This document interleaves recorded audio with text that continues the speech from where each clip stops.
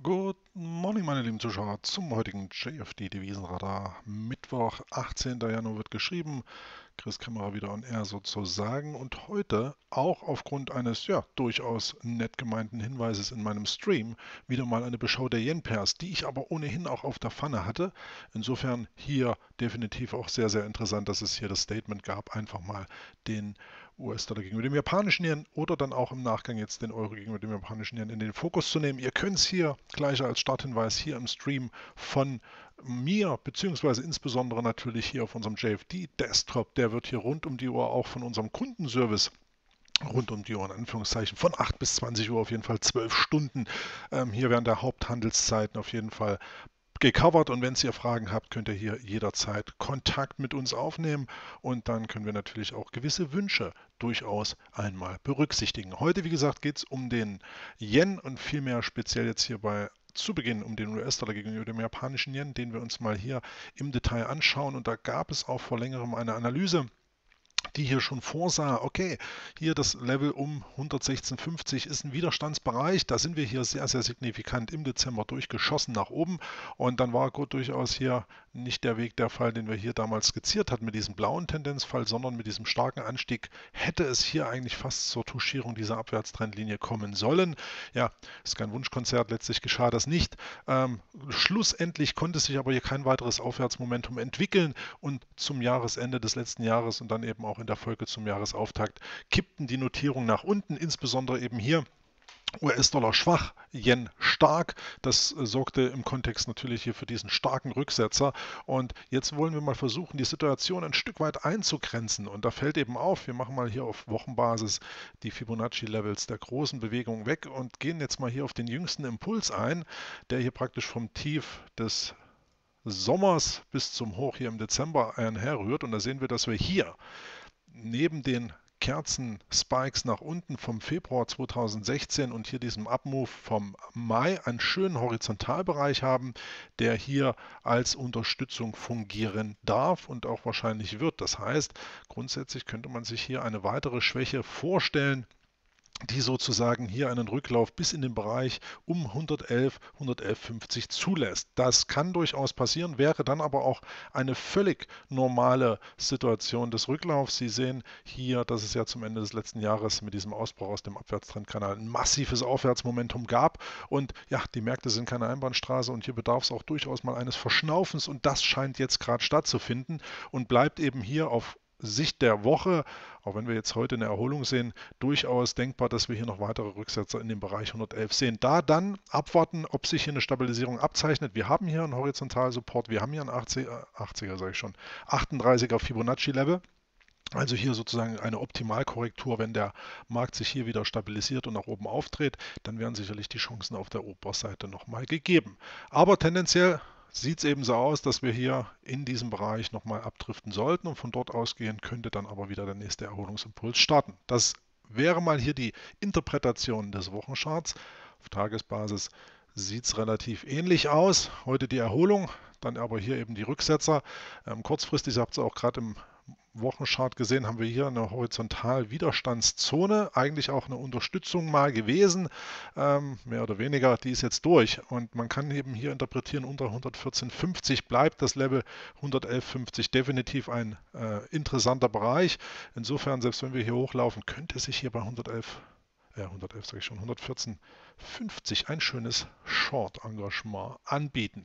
Das sieht auf Tagesbasis auf jeden Fall mal sehr interessant aus und bietet eben hier Chancen, auf diesen möglicherweise weiteren Abwärtsmove zu spekulieren, um dann eben hier letztlich durchaus nochmal diese Abwärtstrendlinie zu attackieren. Hier auf Tagesbasis sehen wir sogar noch schöner ähm, im Sinne des Versatzes der Abwärtstrendlinie und der Korrektur nach unten, dass man hier sogar schon fast von dem Erreichen der Trendlinie ausgehen kann. Also wirklich relativ schön gelaufen. Ähm, Grundsätzlich jetzt aber mal abwarten, was hier im Weiteren passiert. Aufgrund der starken Rücksetzer zuletzt könnte es hier, wie gesagt, eine Erholungsbewegung geben und das bestätigen auch die Seasonal-Indikationen. Das heißt, hier kann es sogar rein von dem Saisonalitätscharakter her bis Mitte Februar wieder nach oben gehen. Ähm, das würde dann dafür sprechen, dass wir sogar hier möglicherweise noch einen stärkeren Erholungsimpuls sehen. Rein technisch, wie gesagt, 114,50 scheint der Deckel drauf. Gehen wir darüber, kann es auch die 116 nochmal werden. Aber ich denke, wir sollten hier auf jeden Fall nochmal ein Stück weit tiefer laufen. Das zumindest mal hier die Indikation der möglichen Chancen. Schauen wir jetzt mal auf den Euro gegenüber dem japanischen Yen. Der hängt hier so ein Stück weit auch in der Luft, auch hier kurz zu Beginn der Wochenchart. Ähm, da wurde das Widerstandslevel hier um 124,50 nicht wirklich erreicht. Hier haben wir so einen Horizontalbereich in dieser Zone, wo wir uns jetzt aktuell wieder hinbewegen, hier um 120, 119,50, ähm, muss man sagen, hat nicht wirklich viel Reaktionspotenzial stattgefunden, aber es sieht auch hier so aus, als könnten wir noch mal ein Stück weit zurückdippen.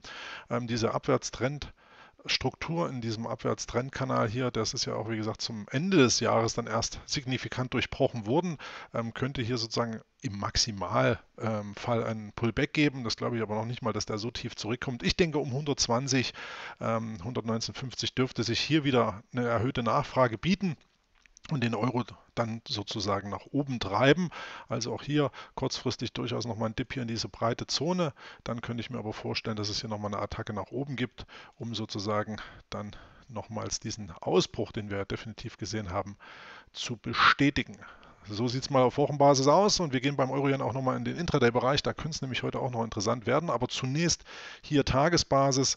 Ähm, hier haben wir auch die Horizontalwiderstandszone. Ähnelt so ein bisschen dem US-Dollar gegenüber dem japanischen Yen. Das heißt, ähm, wenn es jetzt eine Erholung gibt, dann könnte man hier im Bereich um 122,15, hier sehr schön ableitbar aus 2016, äh, gut, die Ausbrüche jetzt hier zu, äh, zum Ende des letzten Jahres sind unoptimal, sage ich mal. Wenn hier im Bereich 122,20 sich der Preis den Kopf gestoßen hätte, dann hätten wir hier einen sehr, sehr schön signifikanten Widerstandsbereich.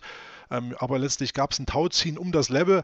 Jetzt sind wir da zurück und wenn es eben hier zu einer Erholung kommt, dann könnte ich mir vorstellen, dass es genau hier um 122,20, 123 im Extrem sozusagen hier dann nochmal zu einem Move kommt und dann sozusagen die Zone um 119,50 etwa angesteuert wird. Also auch das hier kurzfristig die Tendenz, dass der Markt hier durchaus einen Erholungsimpuls starten könnte, dieser aber jedoch im Zweifel dann durchaus nochmal zu neuen Tiefs führen müsste, sollte. Gut, was passiert, wir werden sehen. Letztlich deutet es sich aktuell an und es bleibt mal gespannt zu beobachten, ob es so kommt. Für den heutigen Tag jedenfalls sieht es, Moment, wir machen mal Fibonacci passend, nehmen es raus.